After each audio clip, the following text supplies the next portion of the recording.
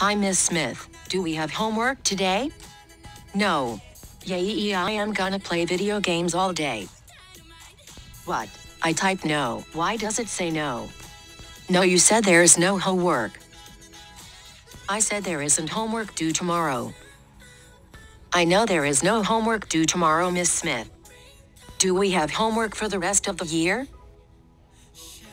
No, of course not. Asami E, you're the best teacher ever. Start your video games now. Okay, have a great day. You too.